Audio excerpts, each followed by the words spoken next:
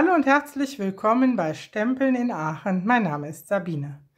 Der Super Samstag Video Hop vom Team Stempelkultur jetzt im Mai. Und da haben wir uns also ein etwas bunteres Thema einfallen lassen. Lasst Farben sprechen. Der Frühling ist in vollem Gang. Egal was, Hauptsache bunt und knallig. Bunt und knallig, das kann ich. Und ich habe für euch diese Karte. Die ist grundsätzlich recht einfach. Ein Hintergrund, das Papier ist selbst gestaltet, gemattet, darauf das niedliche Vögelchen aus dem Set gut gezwitschert, mit der Handstanze ausgestanzt. Dazu kombiniert habe ich den Schriftzug Amazing. Amazing ist in diesem Set Amazing Thanks. Wie der Titel schon sagt, da ist auch noch ein Thanks drin. Das gibt es auch in Deutsch. Ich habe das wegen des Amazing genommen, weil mir das so gut gefiel. In Englisch dann entsprechend. Hier hinter habe ich ein kleines Stück Transparentpapier geklebt. Und das Transparentpapier das habe ich ausgestanzt mit den neuen Rechteckstanzen und die haben einen Büttenrand. Das finde ich cool, das gefällt mir richtig gut. Ähm, ich habe es ja nicht so mit so Lochmustern und Stickerei und so. Spitze ist es nicht so, aber hier mit diesem, dieser Büttenrand, dieser unregelmäßig wie gerissene Rand, gefällt mir total gut. Das habe ich also auch noch da drauf geklebt. Jetzt denkt ihr, was redet die denn? Hätte sie doch einfach aufeinander pappen können und dann wäre sie fertig gewesen. Ja, super, stimmt. Aber ich habe gedacht, ich mache mal eine neue Technik, versuche ich mal. Die habe ich bei einer Stempelfreundin in Belgien gesehen. Und zwar ist dieser Hintergrund nicht einfach irgendwie gestempelt. Ich habe Tablettenblister verwendet. Tabletten was? Tabletten Blister. Das sind diese Plastikdinger, in denen die Tabletten eingeschweißt sind. Das hier ist jetzt eins, das habe ich noch nicht benutzt. Dann habe ich hier eins mit runden Tabletten. Das ist ganz nett, da sind die, wie sagt man, die Oberseiten nicht glatt, sondern die sind leicht gewölbt. Und ihr wisst, wenn man die rausdrückt, dann bekommen die so lustige Knicke und Ecken. Und die sieht man dann nachher beim Abstempeln als ungestempelten Bereich hier. Das sind einmal die Runden. Und hier habe ich einen genommen mit diesen diese Ovalen, diese Megahammer. Häufig sind das ja Antibiotika ähm, die in diesen ovalen großen Teilen drin sind. Und da ist das gleiche, also auch hier das Kunststoff, das verbeult sich und an den Stellen bekommt man dann freie Flächen. Ich habe der Einfachheit halber diesen Blister mit einem Streifen doppelseitigem Klebeband hier auf einen Acrylblock geklebt das kann man ja nachher dann wieder abziehen. Die kann man auch relativ leicht reinigen. Wichtig ist, wenn die benutzt sind, also alle Tabletten raus sind, sehen die ja so furchtbar verknautscht aus.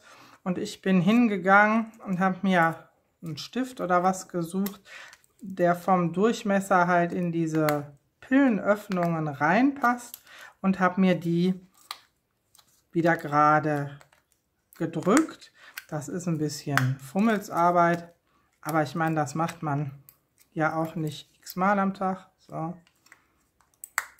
Und dann könnt ihr auch dieses Blister auf einen Stempelblock kleben. Ja gut, manchmal lösen sich diese Alufolien Deckelteilchen, aber das ist ja auch nicht so schlimm. So, und wenn ihr das gemacht habt, dann seht ihr schon, da habe ich eins vergessen. Dann bekommen die eine recht gerade Oberfläche erstmal. Und wenn ihr das jetzt auf einen Stempelblock draufklebt, und dann einfärbt und abdrückt. In dem Moment, wo ihr dann mit ein bisschen Kraft drückt, nehmen die wieder diese alte verkrünkelte Form an und geben dann nur partiell die Farbe ab. Ich fand das eine ganz nette Idee.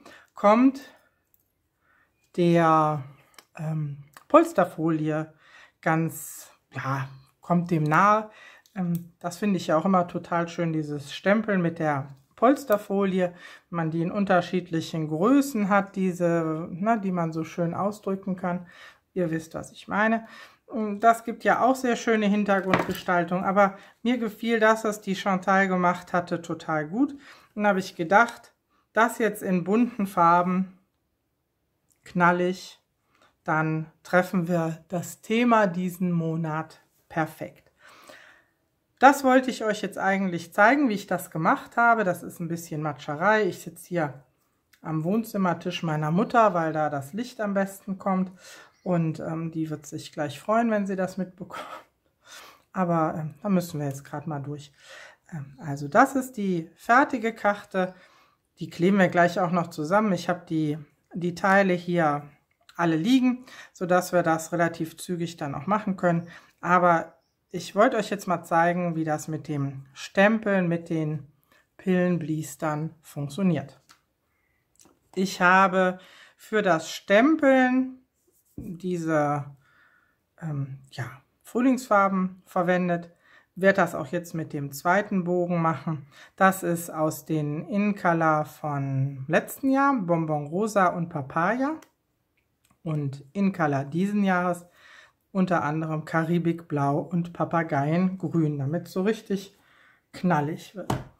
Zusätzlich eine Spritzflasche für Wasser und wichtig hierbei wäre, dass da nicht ein gebündelter Strahl Wasser rauskommt, sondern dass das wirklich schön fein verteilt kommt. Das brauchen wir. Ein Lappen, auch immer ganz wichtig. Ja, und dann halt unser normales ähm, Schwammtuch zum Reinigen der Blister habe ich hier. Ja.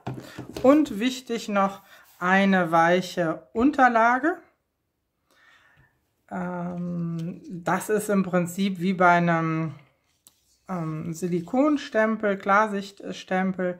Ihr habt ja die Schaumstoff, Schaumstoffschicht nicht zwischen Stempel und Klötzchen und ihr braucht was, damit das ein bisschen federt und nachgibt. Ich habe das Ganze mit normalem grundweißen Farbkarton gemacht. Wir nehmen jetzt hier mal eine halbe Seite.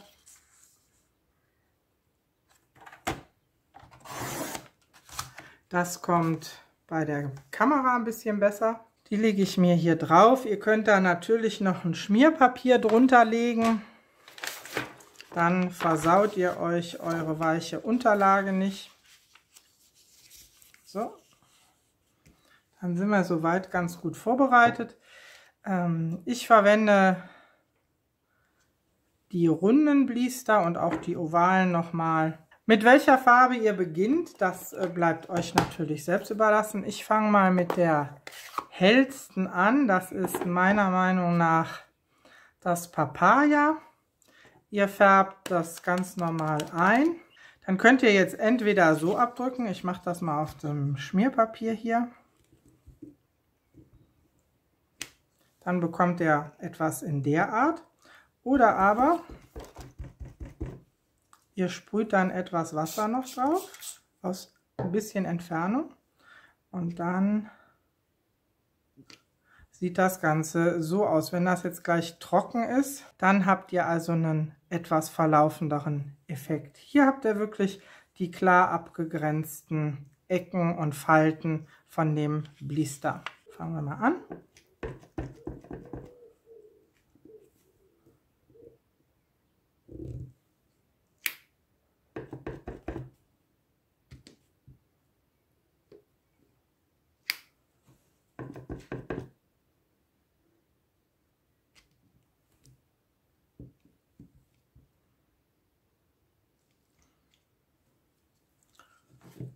Dann wische ich das uh, bisschen sauber.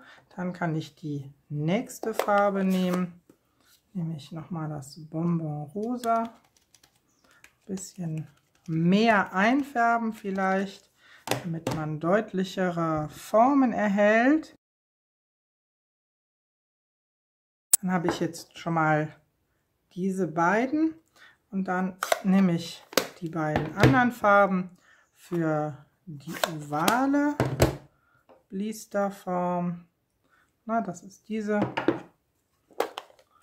Die finde ich übrigens ein bisschen schwieriger abzustempeln, weil die Streifen teilweise zu dünn werden, finde ich. Gucken wir mal.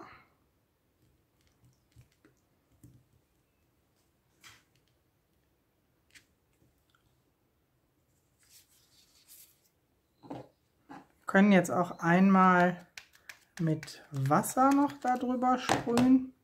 Dann haben wir den Effekt auch mal drauf. Das macht ihr am besten normalerweise nicht hier auf dem Papier. Ne? Das haltet ihr am besten neben eure Papierfläche.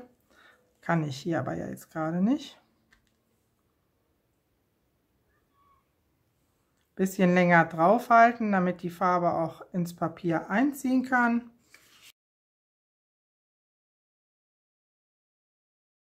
Das reicht, oder? Vielleicht hier unten in der einen Ecke noch ein bisschen. Da hat das Blau nicht so richtig gefärbt. So. Naja, und was sagt ihr jetzt? Das ist doch ein wunderbarer, bunter Hintergrund. Das kann ich mir übrigens auch sehr schön für eine Männerkarte vorstellen. Dann natürlich in anderen Farben. Aber ich finde diesen Hintergrund auf die Art gestempelt, würde richtig gut zu einer Männerkarte passen. Na, und das ist es eigentlich schon gewesen. Bunt ist es und da kann man jetzt wunderbare Kartenhintergründe draus machen. Ihr seht, wir sind heute relativ zügig. Ich hatte die Papiere auch tatsächlich schon vorgeschnitten. Ich lege das Stück, das neue Stück jetzt mal auf Seite. Ich habe hier aus dem Stück, das ich hier vorbereitet hatte, schon was ausgeschnitten. Habe dazu auch ein Stück Karton zum Matten. Das ist Papageiengrün. Das hatte ich mir jetzt in dem Fall extra genommen, weil hier mehr grüne Punkte drauf sind. Da fand ich das ganz schön. Dann habe ich ein Vögelchen vorbereitet, diesmal in Papaya. Dann habe ich einmal das Thanks, diesmal in Lodengrün. Hier hatte ich Nachtblau, aber ich fand, das sollte schon ein bisschen Kontrast zu diesem ganzen bunten Hintergrund sein. Und dann habe ich hier noch ein Stückchen Farbkarton geschnitten. Das ist das ist, das ist Karibikblau, genau. Und natürlich ein Stückchen transparenten Farbkarton oder Farbkarton Pergament, ausgestanzt mit der kleinsten Rechteckform mit dem Büttenrand, das ist diese, und mein Streifen Farbkarton in Karibikblau ist etwas größer. Und ich hatte den bei meiner Vorbildkarte mit diesem, ja, was ist das? Baummaserungsstempel, also das ist dieser hier, habe ich das Ton in Ton hier bestempelt. Das würde ich mit diesem genauso machen. Ich habe hier das Stempelkissen Karibik Blau. Dann brauchen wir einen Kartenrohling. Dafür habe ich den Farbkarton Grundweiß extra stark genommen. Das ist äh, ganz normal zugeschnitten, oder? Also 10,5 cm mal DIN A4, also 29,7 und das falzen wir jetzt bei 14,85, also bei der Hälfte. Dann nehmt ihr ein Falzbein und falzt das. Wenn ihr kein Falzbein habt, macht es wie ich. Dann werden die einzelnen Lagen Papier aufeinander geklebt.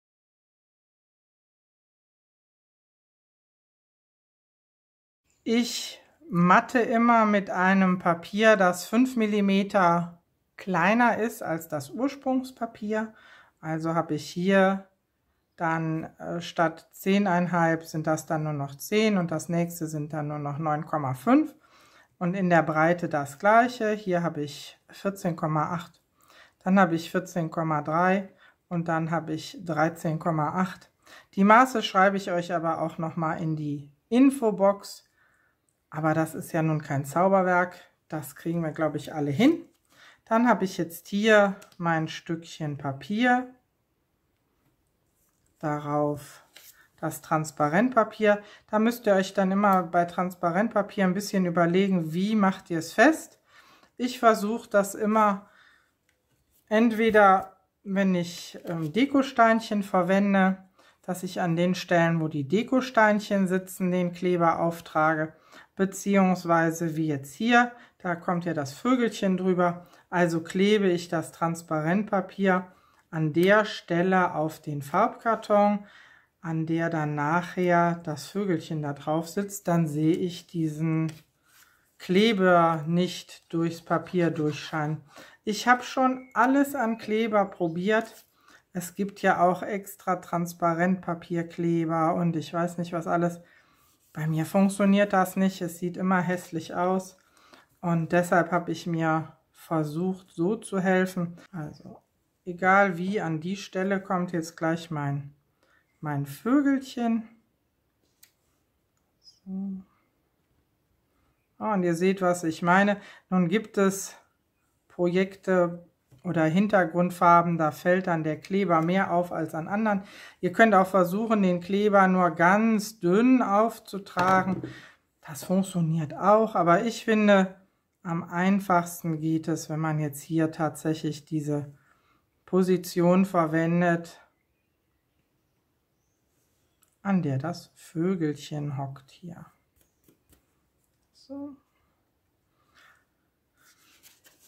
Den Text, den könntet ihr natürlich auch mit der doppelseitigen Klebefolie ausstanzen. Das wäre wirklich in dem Fall was professioneller, habe ich aber erst zu spät dran gedacht, da war es schon passiert. Dann wäre jetzt die Rückseite des Textes der Schrift halt klebend. So muss man vorsichtig den Tombo aufkleben. Ich finde aber, das geht auch. Und Die Augen des Vogels fände ich noch recht wichtig. Die sind im Stempelset dabei. Ihr kennt das Stempelset, oder? Ich habe das schon öfter jetzt verwendet. Ich finde das niedlich. Ähm, die Stanze, die Handstanze geht mit dem großen. Da sind dann auch diese Flügelchen dabei. Hier, Flügelchen. Und der Schnabel. Könnt ihr also dann alles nochmal separat aufkleben. Ich verwende jetzt die Augen hier noch. Und ähm, natürlich könnten wir jetzt dem Vögelchen auch noch Flügel ankleben. Aber mir gefällt das nicht so gut, diese aufgeklebten Flügel. Deshalb habe ich das hier auch nicht gemacht. Aber wenn ihr das möchtet, könnt ihr dem auch noch Flügelchen ankleben. Mein Vögelchen hat die Flügel dicht anliegen Deshalb sieht man das nicht richtig. Aber ich finde ganz wichtig, dass jetzt noch meine Steinchen aufgeklebt werden. Dann hat man da sowas wie kleine Wassertropfen oder Bläschen. Und ich habe die runden Akzente in Milchglasoptik dafür genommen. Die sind einmal in ja, transparent und einmal sind die rosa eingefärbt. Und schon bin ich mit meiner kunterbunten Karte fertig.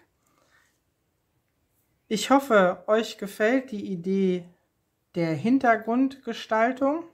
Es ist nicht richtig gematscht, aber schon ein bisschen. Ne? Das ist, ähm, finde ich, bei Technik immer wichtig, dass man auch was an den Fingern von der Farbe zurückbehält. Vielleicht habt ihr ja Lust, das Ganze auch mal auszuprobieren. Sowas macht immer sehr, sehr viel Spaß. In der Gruppe oder mit Kindern oder um sich wirklich mehrere große Bögen vorzustempeln und dann immer ein bisschen Hintergrundpapier in Reserve zu haben. Also so viel zu dem Thema Lastfarben sprechen. Egal welche Farben, Hauptsache bunt und knallig. Ich glaube, das habe ich hier dann tatsächlich bewiesen. Ich wünsche euch ein wunderschönes Wochenende. Schaut doch jetzt bitte auch noch kurz bei meinen Kolleginnen vorbei, die haben auch tolle Ideen. Und wir sehen uns, wenn ihr möchtet, kommenden Mittwoch zu immer wieder Mittwochs. Und dann haben wir, was haben wir denn? Den Kartensketch. Genau. Alles andere ist diesen Monat ja schon gelaufen. Jetzt entlasse ich euch. Macht es gut. Bis dahin. Tschüss. I am in control. I am watch me.